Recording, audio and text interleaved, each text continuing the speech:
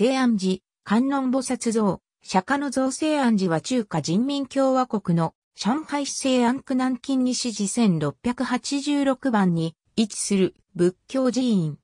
現在の姿から想像することは困難であるが、その歴史は3世紀の三国時代に由来し、江南地域の悠久の歴史に影響を与えた名刹の一つである。空海も遣唐使として訪れている。境内の赤カラス碑の記録によると、呉の孫権の命により247年に、佐伯出身の構造会によって建てられた、とされる。元の名前を、古徳十元寺と言い、五将校の北岸にあった。唐の時、一度、永代全員と改名。北宋の大宋の1008年に、今の西安寺となった。南宋の1216年の時に、住職が洪水に悩まされるため、寺を現在の場所に移した。元の時代、効果が絶えず、境内の八箇所の名所は、西安八景と命名され、長知れ渡り、山門の前の優先はさらに、天下第六戦と褒めたたえられた。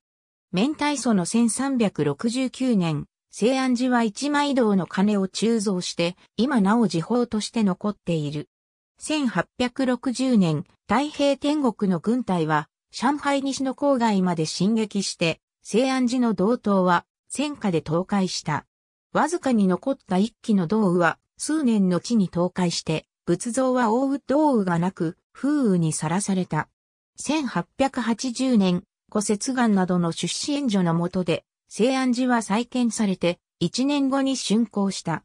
その後、毎年、中国歴4月8日の釈迦の誕生日に寺廟の縁日を行って、上海の一つの重要な民族習慣となり、1963年まで続けられた。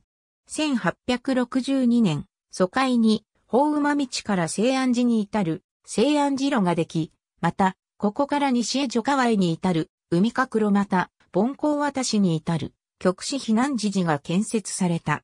そして、西安寺は、上海の西地区の交通網の中心となる。1899年、上海共同疎開は西に拡張され西安寺まで範囲となった。そして迅速に商業繁華街に変化して大型アパートなども建設された。1901年、公共疎開は西安寺警察署を設立する。1908年、西安寺を起点とする路面電車が開通する。付近は上海の西地区の中心地として繁栄し、西安寺には参拝者の線香やろうそくが絶えることはなかった。1921年には仏殿の東のスペースに三聖殿を建設した。1912年、西安寺において中国仏教総会が創立した。1953年、持松坊氏は境内に真言宗の壇上を創立して五代以来長く耐えていた密教の道場が開設された。1966年、文化大革命の始め、仏像、放棄は徹底的な破壊に遭い、持ち松帽子は迫害にあって、僧侶は仕方なく減俗した。寺は改築して、プラスチックの工場となった。1972年、仏殿は火事となり、消失、西安寺は一面の廃墟となった。1979年以後、中国政府は再び宗教寺院として指定する。1983年、国務院は、漢族地区の仏教の全国重点寺院の一つに、西安寺を認定する。1984年以後、西安寺の再建が始まり、続々と赤烏山門、天皇殿、三聖殿、九徳堂、北条室などが建築された。1990年、基本的な修復を終えて、西安寺は対外開放をする。1991年5月12日、仏殿の仏像の開眼式が行われ、寺域は中華民国の時期の規模まで回復した。